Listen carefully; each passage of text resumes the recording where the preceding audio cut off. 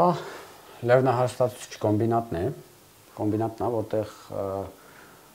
որը մեր գլխավոր աշխատատեղն է համայնքի հիմնական մասը տեղ աշխատում մոտ 450-500 հոգի աշխատում սա է հա տղամարդկանց օբյեկտը տղամարդկանց միջավայրը որտեղ կանայք շատ քիչ հնարավորություն եւ շատ քիչ տեղ ունեն այս կողմում էլ մի անգամից գտնվում է եկեղեցին եթե նա կոշտ կոպիտ հա առնական այսպես միջավայր է, այստեղ ավելի շատ հոգեկան, հոգևոր միջավայր, որտեղ կարող են գալ բոլորը, որտեղ բոլորը ազատ են։ Ես երբ որ մեր աղթալայի միակ այսպես ասած ռեստորան ռեստորանա սրճարանա տիպ վայրում գնացի աշխատելու պիտի աշխատեի որպես մատուցող բավական լուրջ կարծրատիպներ որ տվյալ սրճարանի համար պիտի կոտրվեր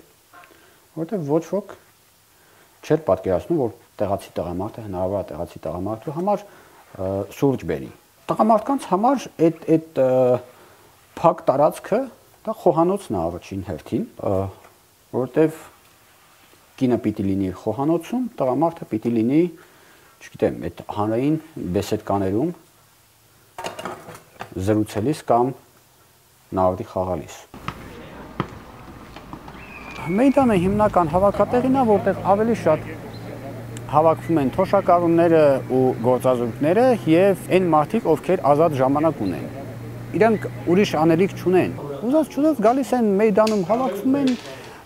սկսում խոսել քաղաքի խնդիրներից, դրսի աշխատանքից, ներսի աշխատանքից, ինչ են գնում։ Այս երկու։ Այս մեկ։ Չեր ողջունում եմ, եթե ես Մարսելել եմ, պտից այս ձև խաղ։ Աշխատանքից հետո 6-2։ Գալիս են հրաապարակ, մի քիչ բամբասում են, հետո խաղասենյակում զբաղվում են, նարդի, շախմատ, բլոտ, շաշկի,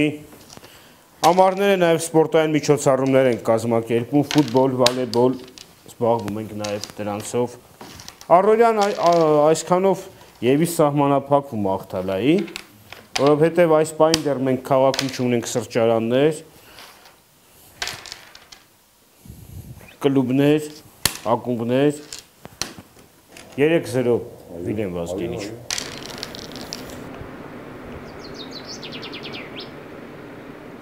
Ինչ վերաբերում է կանանց, նրանք հավաքվում են ավելի շատ փոքր խմբերով, զրուցելու իրենց կենցաղային տնային խնդիրների մասին, լուծելու իրենց փոքր խնդիրները, դրանք լինում են 3-4 տան բնակիչներ, 3-4 հարևաններ, ովքեր հավաքվում են, նստում են մի հատ փոքր աթոռիկի վրա, սուրճ են խմում, թեյ են խմում, զրուցում են ինչ-որ հարցերի շուրջ։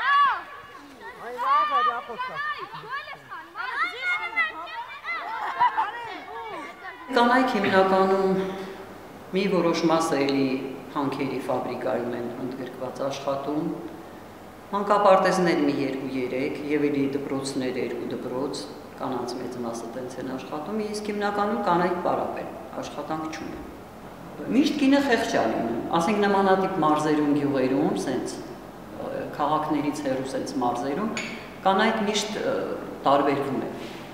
Միշտ այդ տարբերությունը կա, ասենք լինում է գնում ես քաղաք,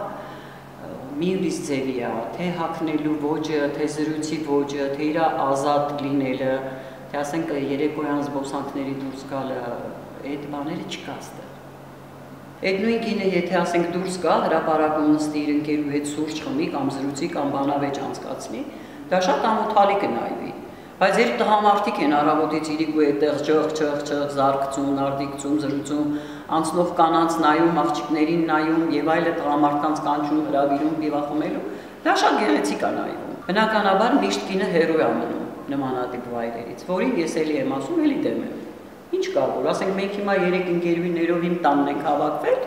այդ երեք ընկերուներով ասենք պուրակում նստենք սուրճ խմենք զրուցենք։ Դա չի նայվում, չի ընդունվում մեր հասարակության կողմից որ ասենք, չգիտեմ, դե դա ինչն ասենք կամ կգա, ասենք մի ժամանակ որ դա կանցնի, էլ չի լինի այդ կին եւ տղամարդ հարաբերության այդ արգելքները, վետոները, չգիտեմ, միգուցե լրիվ անցնի, բայց դեռ շարունակվում է։